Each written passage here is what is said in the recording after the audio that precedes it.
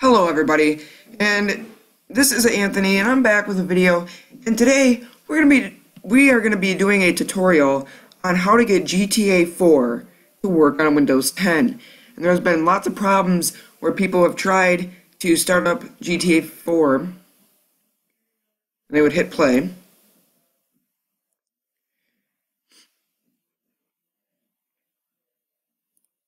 And then the social club would come up, if it would here.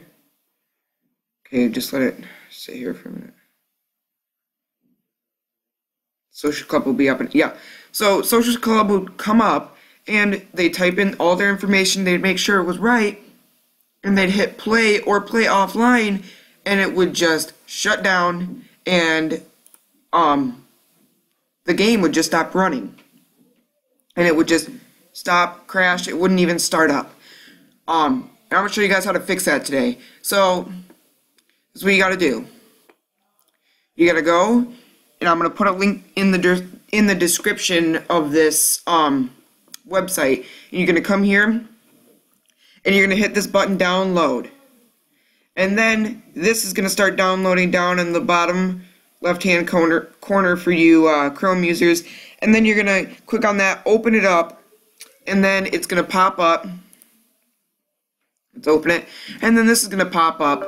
And you're going to hit yes. And it's going to start downloading. And then, as soon as it's done downloading, you're going to hit launch. And then it's going to start coming up. But it's, it's going to take a while for you guys to download because I've done this before. You log in. And then you just put that down and go ahead, go back into Steam and open it up. Actually, you can just go ahead and exit right out of that. And then you can go ahead and open GTA 4 back up.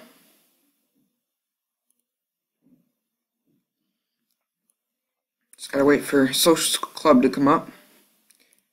Okay, and then when Social Club comes up, type in your information and everything, and hit play, and it will start running.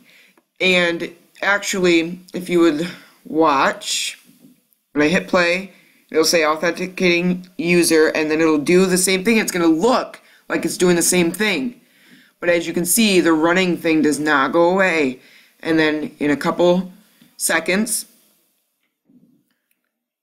you'll see that it, the game starts and actually starts up. You just got to give it a little bit and it'll start up and you'll be able to play full.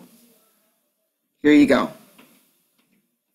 So, and I'll show you that it actually does work. If you guys have any questions, please tell me in the um, the comments below because I know that some of this can get kind of um, crazy and stuff. So here we are. We are playing the game. Oh, oh God!